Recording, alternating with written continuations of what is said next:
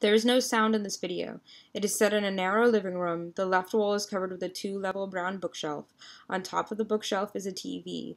Only the bottom rim of the TV is visible on camera. Behind the TV is an exposed brick facade. The second level of the bookshelf is a DVD player and the first contains a VCR.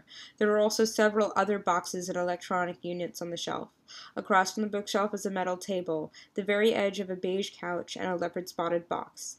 Next to the table and pushed against the wall, directly across from the viewer, are two boxes, one beige and one white. On top of the beige bookshelf is a web camera. The setting for the video is consistent throughout the whole minute and 12 seconds of viewing time.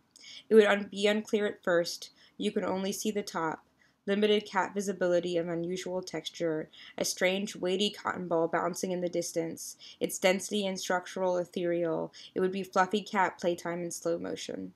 As the cat bounds forward, the video slows down. Halos of ample fur ripple along the cat's back. Its thickness and coverage make it difficult to distinguish any separation in the cat. The layers of shaggy white conceal his haunches, shoulders, and neck, combining into one endless flouncing ruff. The cat glides as though he is just one solid but weightless part. But you start to notice ricochets. You start to notice lag time. You notice seismic shock waves of fur on impact with the ground. The cat is distinct from itself flinging itself into the air. The cat is not just one, it is many cats. It is one whole cat fracturing. It is one whole cat expanding. With each flounce, the cat grows, tufts of fur slowly drifting outwards, its small ears drifting higher and farther apart.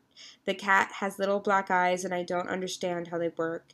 It starts as a cotton ball, and then it gets bigger. The cotton ball has gone nuclear, its nebulous perimeter expanding as the cat leans back on its haunches, Fur pours over the couch and clogs the door as it leaps. Fur swallows up the TV. Its neck and head extend forever beyond the camera, a fluffy eternity passing out of